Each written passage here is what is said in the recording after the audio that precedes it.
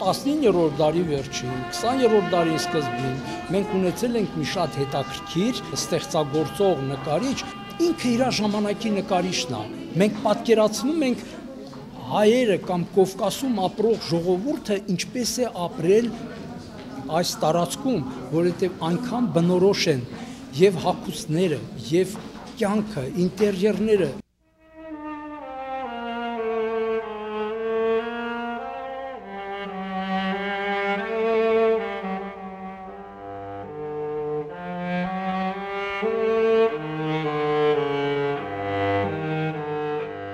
այսօր Համայակ Հակոբյանի 140-ամյակն է։ Մենք կարողացանք կազմակերպել հետաքրքիր ցուցահանդես ներկայացնելով մոռացված մի նկարիչի 70 տարուց ավել մեր ֆոնդերում գտնվում է մոտավորապես 2000 ստեղծագործություն։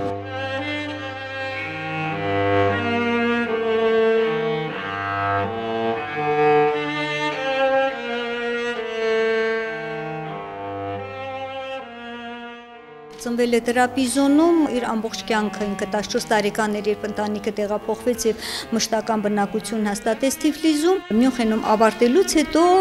Գեղարվեստի ակադեմիան ապրել ստեղծագործել է Թիֆլիզում, սակայն հայրենիքի հետ նրա կապը եղել է մշտական։ Նրա մահից հետո այն ամենը, ինչ որ մնացել էր նկարչի արվեստանոցում, պահպանվել է Թիֆլիսի կերպարվեստի թանգարանում եւ 1947-48 թվականներին բերվել է ազգային պատկերասրահ եւ դրա շնորհիվ է որ մենք նկարչի ստեղծագործությունների այսպիսի ամբողջական հավաքածու ունենք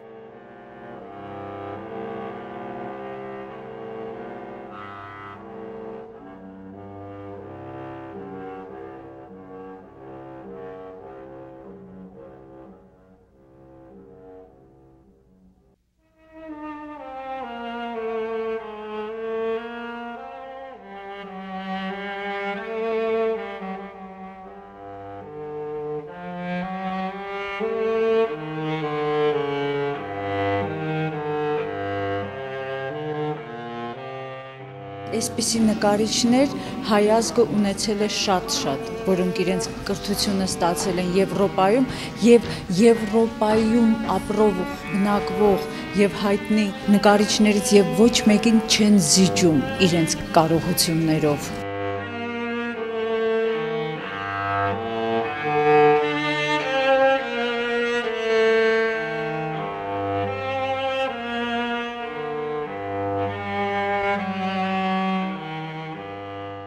21-րդ դարում այս ամեն ինչը պետք է առաջի հերթին բացվի Հայաստանի սահմաններից դուրս ցուցահանդեսները։ Շատ հետաքրքիր կլիներ, երբ ազգային պատկերասրահը Համայակ Հակոբյանին ցուցադրեր նույն Մյունխենի ակադեմիայի ցուցասրահում, որտեղ նա սովորել է։